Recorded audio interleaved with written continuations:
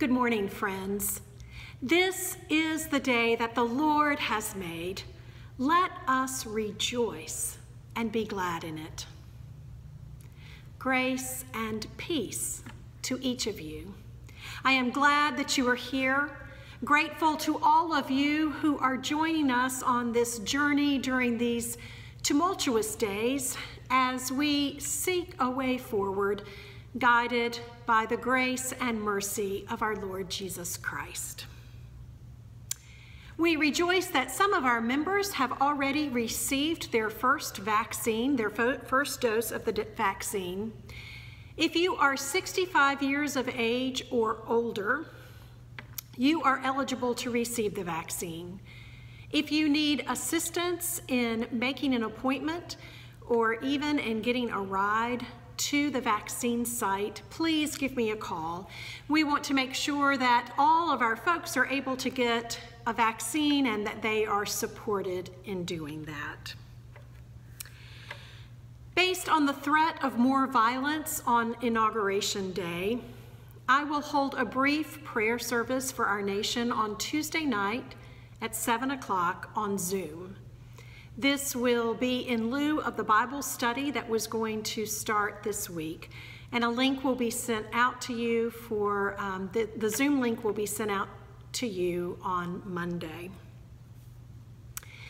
Jay Walker's is suspended indefinitely at this point, and I will be speaking with the parents of young children to talk about ways in which we can continue the faith formation of our children during this time. Friends, we are gathered by our God who knows us better than we know ourselves. Listen to these words from Psalm 139 as we call ourselves to worship. O Lord, you have searched me and known me. You know when I sit down and when I rise up. You discern my thoughts from far away. You search out my path and my lying down and are acquainted with all my ways. Even before a word is on my tongue, O Lord, you know it completely. Search me, O God, and know my heart. Test me and know my thoughts. See if there is any wicked way in me, and lead me in the way everlasting. Let us pray. Almighty God, we come to you this morning overwhelmed and anxious we are reeling from this relentless pandemic. We are weary from the consequences of a long season of isolation, economic disruption, and political upheaval. We are people of faith, those who put our trust in you and our hope in Jesus Christ. But we are tired and not sure how to move forward in faith and love. We believe that through Christ all things are possible. Lord, help our unbelief. If the storming of the Capitol was not more than enough, we hear there is rising chatter of more organized violence this week, both in Washington and at capitals across this country. Melt the hearts of those seeking to instigate and perpetuate violence. Lord, we pray for peace. Peace in our nation as we navigate transitions in leadership, peace in our community, peace among our family and friends. Open all of our eyes to see in each other our common humanity. Give us words to speak and ears to listen so that the hard work, the long work of justice and repair can find a foothold amid the tensions and anger of this moment. Oh God, you know us through and through. You know what is on our lips before we speak. You know the inner corners of our hearts. Search us, test us, root out our wicked ways, and lead us in the way everlasting. We pray in the name of the Prince of Peace, Jesus Christ our Lord. Amen.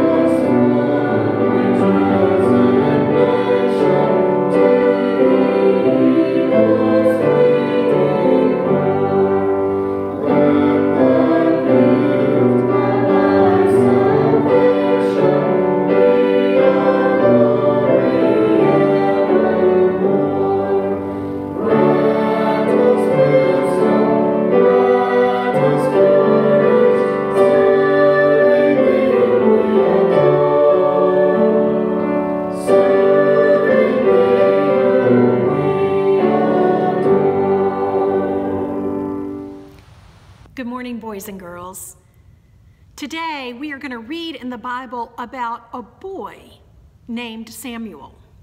When Samuel was little, his mother brought him to the temple to live because she had promised God that Samuel would serve him all of his life. And the priest that was there, Eli, was to raise Samuel and to teach him all about God. But one night, while Samuel was sleeping, he heard a voice. Samuel, Samuel. He ran to Eli and said, Here I am. But Eli said, I didn't call you. Then Samuel went back to bed.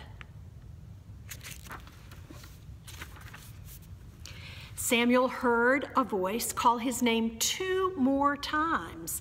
Each time, Samuel ran to Eli. Finally, Eli said, I think God is speaking to you. Next time, say, Yes, Lord, I am listening. Then Samuel went back to bed. Samuel, Samuel, the voice said again. This time, Samuel answered, Yes, Lord, I am listening. And from that moment on, Samuel gave messages to God's people. He was a special prophet of God. Now, this is a pretty neat story because it reminds us that you don't have to wait to be a grown up for God to call you. God asks people of all ages to share his message. Now, you may hear a voice, just like your mom, if your mom was calling you, or it may be more like a voice inside your head, like a nudge or a tug that you're supposed to do something or say something. Now, how are you going to know if this voice, this inside voice especially, is God? If what that inner voice asks you to do is telling you to do, if it's telling you to do something that is loving, then it's God. Help me to lead the congregation in the Lord's Prayer. Our Father, who art in heaven, hallowed be thy name. Thy kingdom come, thy will be done, on earth as it is in heaven. Give us this day our daily bread, and forgive us our debts as we forgive our debtors. And lead us not into temptation, but deliver us from evil. For thine is the kingdom, and the power, and the glory forever. Amen. Be listening. Bye, boys and girls. Let us pray. Lord, we need to hear your voice. We need a word from you to guide the living of these days. Send your Holy Spirit to be in our listening and in my speaking, and may it remain in our hearts and change us. Amen. The Old Testament passage appointed for today comes from the book of 1 Samuel. This passage stands at the very beginning of the stories of the kingship in Judah and Israel. It is a prequel, if you know, if you will, of the anointing of the first king. Chronologically, the book of Samuel follows Judges which sums up the predicament of the people in this way. In those days, there was no king in Israel. All the people did what was right in their own eyes. God's people had grown weary with the judges whose service was sporadic, rescuing the people only when their disobedience made them prey to their enemies.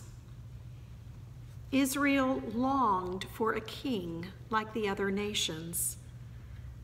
Of course, the question, the concern about having a king was how would such a fallible human leader stay attuned to the voice of God once he was seated on his own throne? And so a new office begins to emerge that of the prophet of the Lord, truth teller of the Lord. And Samuel is the first in line. Now, you may recall that Samuel was a miracle baby given to the barren Hannah after her desperate prayers in the house of the Lord. In response, Hannah brings her three year old son back to God and hands him over to live with Eli and to be in temple service there. According to one ancient scholar, Samuel was about 12 years old when he received this call from God. Now, this story is familiar to many of you, and particularly the beginning portion. But I invite you to listen with fresh ears as I read now 1 Samuel 3, verses 1 through 20. Hear now God's word to us this day. Now, the boy Samuel was ministering to the Lord under Eli. The word of the Lord was rare in those days. Visions were not widespread. At that time, Eli, whose eyesight had begun to grow dim so that he could not see, was lying down in his room. The lamp of God had not yet gone out, and Samuel was lying down in the temple of the Lord where the ark of God was. Then the Lord called, Samuel, Samuel. And he said, Here I am, and ran to Eli and said, Here I am, for you called me. But he said, I did not call. Lie down again. So he went and lay down. The Lord called again, Samuel? Samuel got up and went to Eli and said, Here I am, for you called me. But he said, I did not call my son. Lie down again. Now Samuel did not know the Lord, and the word of the Lord had not yet been revealed to him. The Lord called Samuel again, a third time. And he got up and went to Eli and said, Here I am, for you called me. Then Eli perceived that the Lord was calling the boy. Therefore Eli said to Samuel, Go lie down, and if he calls you, you shall say, Speak, Lord, for your servant is listening. So Samuel went and lay down in his place. Now the Lord came and stood there, calling as before, Samuel, Samuel. And Samuel said, Speak, for your servant is listening. Then the Lord said to Samuel, See, I am about to do something in Israel that will make both ears of anyone who hears of it tingle. On that day I will fulfill against Eli all I have spoken concerning his house, from beginning to end. For I have told him that I am about to punish his house forever for the iniquity that he knew, because his sons were blaspheming God, and he did not restrain them. Therefore I swear to the house of Eli that the iniquity of Eli's house will never be reconciled by sacrifice or offerings. Samuel lay there until morning, and then he opened the doors of the house of the Lord. Samuel was afraid to tell the vision to Eli, but Eli called Samuel and said, Samuel, my son. He said, Here I am. Eli said, What was it that he told you? Do not hide it from me. May God do so to you and more also if you hide anything from me of, of all that he told you. So Samuel told him everything and hid nothing from him. Then he said, It is the Lord let him see, do what seems good to him. As Samuel grew up, the Lord was with him and let none of his words fall to the ground. And all Israel, from Dan to Beersheba, knew that Samuel was a trustworthy prophet of the Lord. This is the word of the Lord. Thanks be to God.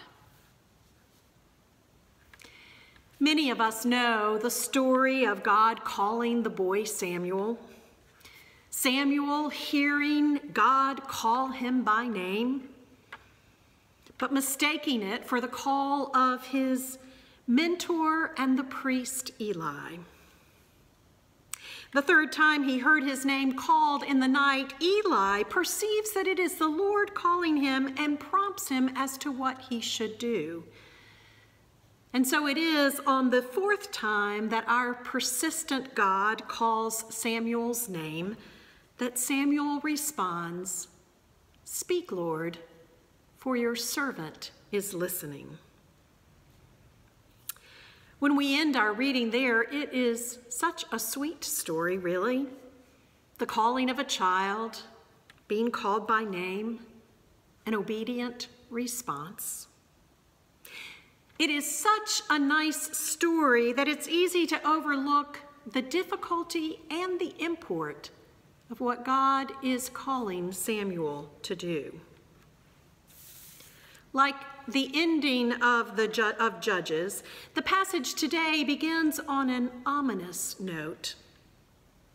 Not only was the word of the Lord rare in those days, but the leadership over Israel was corrupt.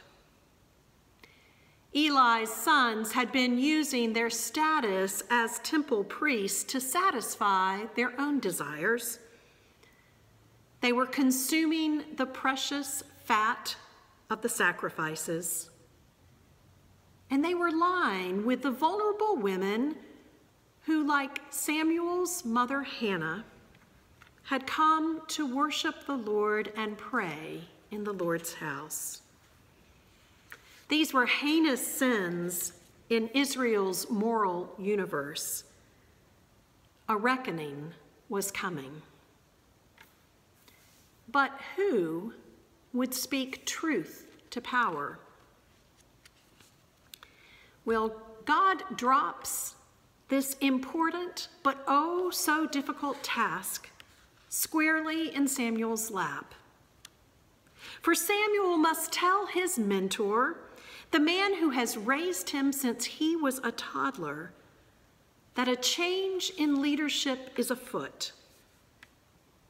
Eli's sons will be held accountable for their sins.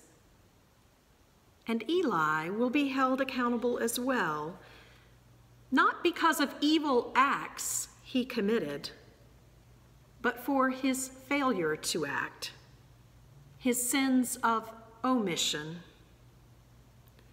Eli recognized his son's sins, the ways that they perverted the sacred office of priest, and he did nothing whatsoever about it. Hesitantly, and only with the encouragement from Eli, Samuel shares the words given to him by God. It couldn't have been easy. It certainly came with risk.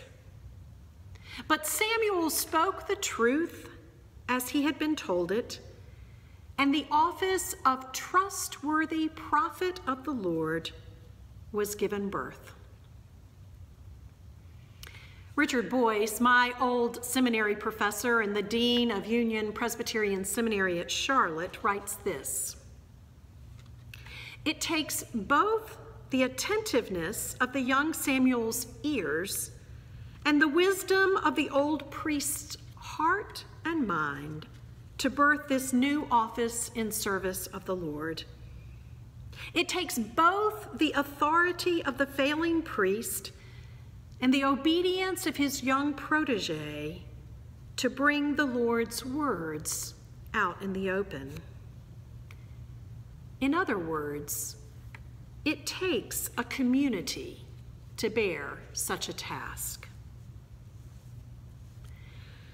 Friends, the times in which we live are perhaps not all that different from the biblical times in which this passage was set. We have a pandemic that has strained the fabric of this society as well as our own personal mental health there have been some peaceful protests against government regulations, and there have been some violent ones. Even an intercepted plan to kidnap a sitting governor. We are going through a racial reckoning in this country after the horrific killing of George Floyd and other people of color by the police. There were many peaceful protests. And there was also looting and burning of buildings and even the attempted takeover of a government building. And then there's what happened a week and a half ago that is beyond compare in intent to anything that we have experienced. A mob of primarily white people carrying symbols of both Christianity and white supremacy and white nationalism stormed the nation's capital, putting our whole democracy at risk, chanting calls to hang the Vice President of the United States and kill the Speaker of the House. Now we have a president who has been impeached and the capital and state capitals all over this country are bracing for potential violence, even as lawmakers have received death threats, for votes of conscience. Things are a mess. We need to hear the voice of God. We need to listen to the voice of God. We need to reflect on Christ's teachings, on his life, and with the help of the Holy Spirit, follow him so closely that we are the light of the world that we are called to be. For that light is so needed right now. Otherwise, it could be said of us in our time all the people did what was right in their own eyes. That didn't work well in biblical times, and it won't work well today. Like Eli, we need accountability for political leaders, religious leaders, and each one of us if we are to move to a more peaceful and just path. Now, I'm not advocating any particular means of accountability. Please hear me on that. But there must be some reckoning. And for us, not only reckoning for what we have said or done, but what we have failed to say and do. When, for instance, have we, like Eli, simply ignored the wrong before us because it was the easiest thing to do? When have we, by failing to name evil as evil, essentially blessed it as good? In 1967, Dr. Martin Luther King Jr. wrote, Time is cluttered with the wreckage of individuals and communities that surrendered to hatred and violence. For the salvation of our nation and the salvation of, of mankind, we must follow another way. As the Church of Jesus Christ, we need to lead the way to another way. And if we are going to turn and follow another way, which could be called repentance, we have to see the truth in ourselves and our nation. And for that, we need each other. We need loving conversations with one another, conversations across political, religious, ideological, and whatever other divides there are that exist conversations in which we hold each other accountable, not judge one another, but hold each other accountable. Because it is so easy when tensions are high to go off the deep end in both our language and our thoughts. And because not one of us has all the answers. We all fall short of the glory of God one way or another. These conversations will not be easy, and maybe we are not even ready for them quite yet. I have often wondered if, or I have been wondering in recent, the last couple of weeks, would we be in the position that we are in um, politically and as a nation if this pandemic were not upon us, if we were not all so stressed out. And yet, I believe that we, as difficult as it might be, we need each other to discern together how God is speaking into this moment. On this second Sunday after Epiphany, Boyce says it is important to note that with the birth of the office of prophet with Samuel, human speaking and human listening now become one of the main means by which the light of God's revelation breaks into the affairs of the world. And when the words of the Lord are rare, this listening and hearing becomes a communal affair, dependent upon both the hearing and the speaking of the community together. We need each other. We need to listen. We need to speak. We need to discern based on a shared set of facts. For there is not your truth and my truth, but a truth. I welcome those conversations with anyone who is willing to um, have those with me. The word of God Samuel delivered to Eli was both hard to give and hard to hear. And yet, ultimately, it was a good word because it was a word needed in order to move toward the renewal of Israel.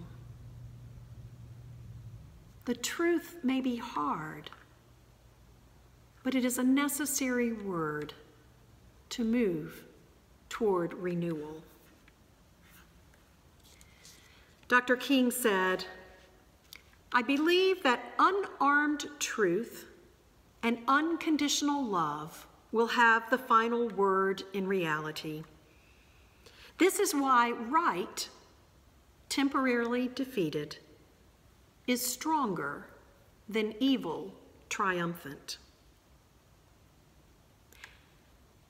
I wonder if that is just a more eloquent way of saying that God has the final word.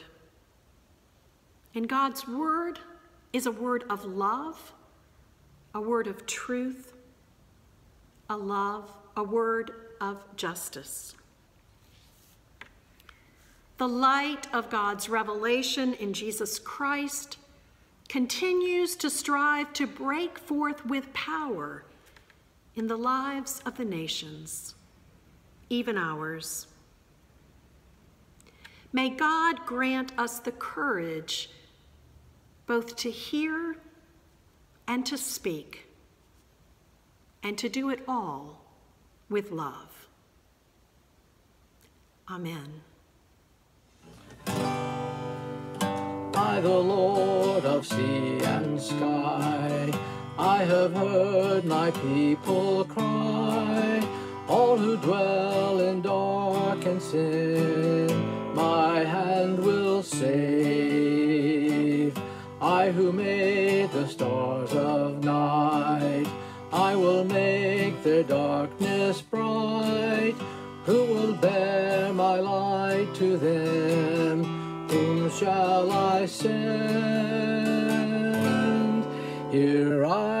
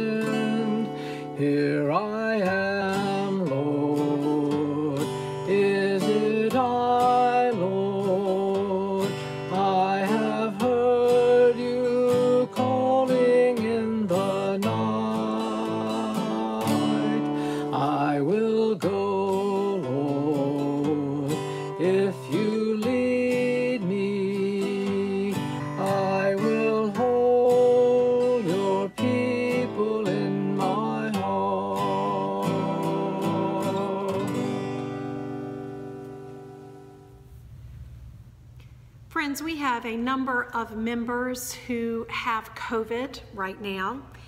Hallie is sick with COVID and her family is all quarantined. Jessica and Aiden hope that they are on the other side of um, this virus and are improving. And John is now asymptomatic. So let us keep um, those members as well as the many others in our prayers. Let us go to God in prayer. Gracious God, you have searched us and know us and love us in ways that are beyond our understanding. We thank you for becoming flesh, for living among us, for dying and rising again, that we might practice becoming your holy body, living in peace with all your other creatures. We give thanks for the warmth of hot soup on a chilly afternoon, for the wonderful smell of a hot meal coming from the oven, for a cool glass of water when we are tired and thirsty. We give thanks for family who have seen us at our best and at our worst and love us still. For friends who challenge and encourage us for children who remind us of the wonder and joy at the heart of your creation. O oh Lord, before we speak, you know our prayers, and still we need to speak the words that fill our heart, for our grief, our concerns are more than we can bear. The numbers are staggering. Most of the faces of those lost to COVID are unknown to us. Yet we know they are sons and daughters, husbands and wives, grandmothers and grandfathers and cousins. They were teachers and nurses, bankers and construction workers, volunteers and students and retirees. Some were homeless some without families. Each was your beloved child. Comfort those who mourn. Give strength and health to those who are sick. Uphold healthcare workers and clear the way for a speedy distribution of vaccine. Give each of us determination to take personal responsibility for measures that protect us all. Lord, we pray for our nation. Protect those charged with protecting the safety of public officials across this country. Protect leaders, civil servants, and their families facing violent threats for exercising the duties of their offices.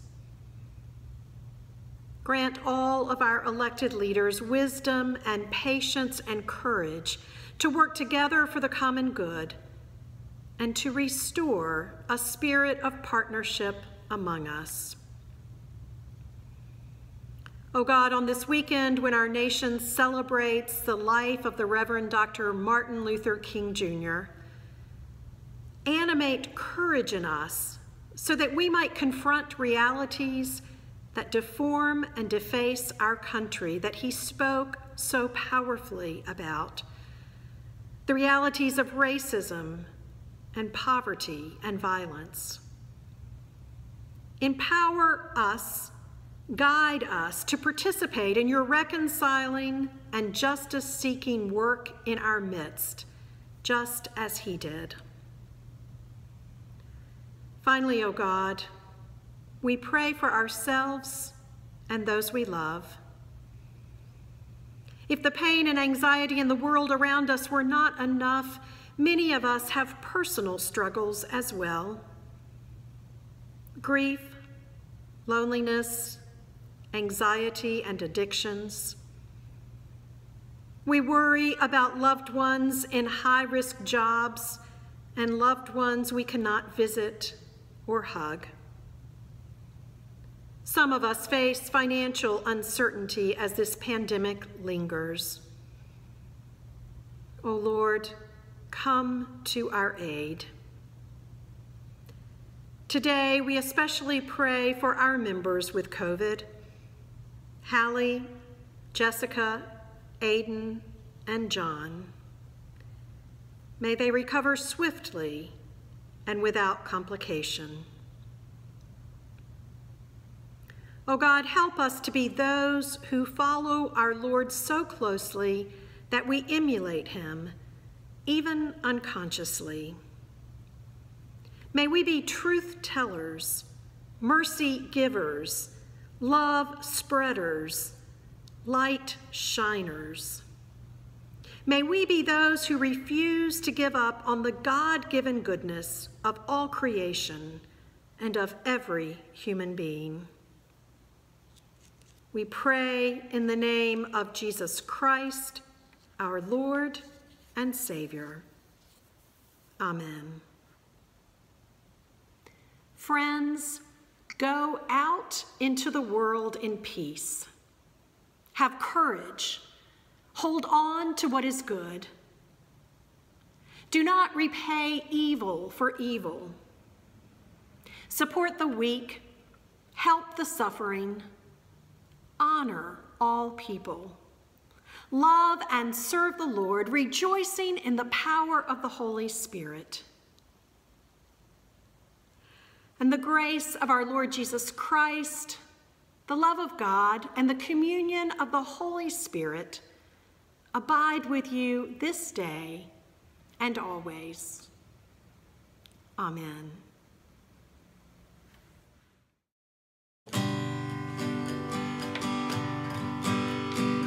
May the God of hope go with us every day, filling all our lives with joy and love and peace. May the God of justice feed us on our way, bringing light and hope to every land and race. Praying, let us work for peace, singing, share our joy with all, working for a world that's new, faithful when we hear Christ call.